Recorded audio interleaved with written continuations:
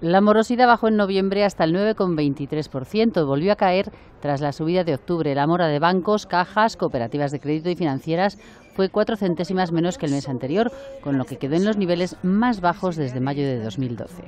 El volumen de créditos impagados fue de 118.000 millones de euros según los datos del Banco de España. Aumentó, pero también lo hizo la cantidad prestada. El total de los créditos concedidos fue 1.281.000 millones de euros. En comparación con un año antes, la morosidad se redujo en un 1,12%. La mora de bancos, cajas y cooperativas que acumulan la mayor parte del crédito fue del 9,27%, ligeramente inferior al mes anterior.